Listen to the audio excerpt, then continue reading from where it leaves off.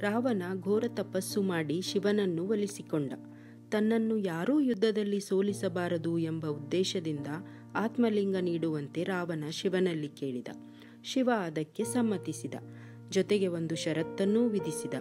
ನೀನು ಲಂಕೆಗೆ ಹೋಗುವವರೆಗೂ ಆತ್ಮಲಿಂಗವನ್ನು ನೆಲದ ಮೇಲಿಡಬಾರದು. ಅಕಸ್ಮಾತ್ ಇಟ್ಟರೆ ನಂತರ ತೆಗೆಯಲು ಆಗುವುದಿಲ್ಲ ಎಂದು ತಿಳಿಸಿ ಮಾಯವಾದ. ವರ ಪಡೆದ ಖುಷಿಯಲ್ಲಿ ರಾವಣ ಹೊರಟ. ಸುದ್ದಿ ತಿಳಿದು ದೇವತೆಗಳಿಗೆಲ್ಲ ಚಿಂತೆಯಾಯಿತು.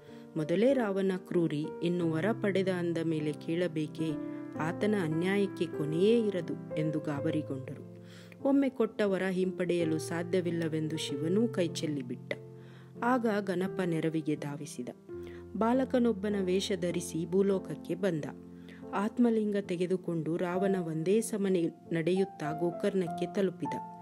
ಆತನ ಹೊಟ್ಟೆಯೊಳಗೆ ಅದಾಗಲೇ ಗಂಗೆ ಸೇರಿಕೊಂಡಿದ್ದಳು. ಹಾಗಾಗಿ ಆತನಿಗೆ ಜೋರು ಮೂತ್ರಶಂಕೆ ಕಾಡಲಾರಂಭಿಸಿತು.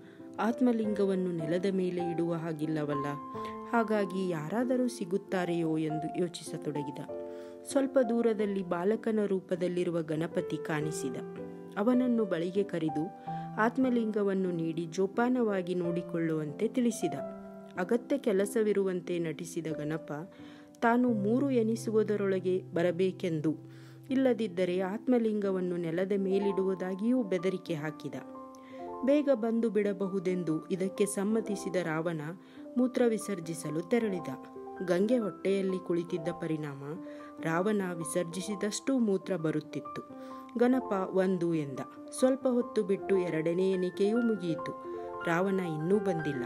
ಮೂರು ಎಂದು ಕೂಗಿದ ಗಣಪ ಆತ್ಮಲಿಂಗವನ್ನು ನೆಲದ ಮೇಲೆ ಇಟ್ಟೇ ಬಿಟ್ಟ. ರಾವಣ ಬಂದು ತೆಗೆಯಲು ಎಷ್ಟೇ ಪ್ರಯತ್ನಿಸಿದರೂ ಲಿಂಗವನ್ನು ನೆಲದಿಂದ ಮೇಲೆತ್ತಲಾಗಲಿಲ್ಲ. ರಾವಣ ಆತ್ಮಲಿಂಗವನ್ನು ಎಳೆಯಲು ಪ್ರಯತ್ನಿಸಿದರ ಫಲವಾಗಿ ಅದು ದನದ ಕಿವಿಯ ರೂಪ ತಾಳಿತು. ಹಾಗಾಗಿ ಸ್ಥಳಕ್ಕೆ ಗೋಕರ್ಣ ಎಂಬ ಹೆಸರು ಬಂತು.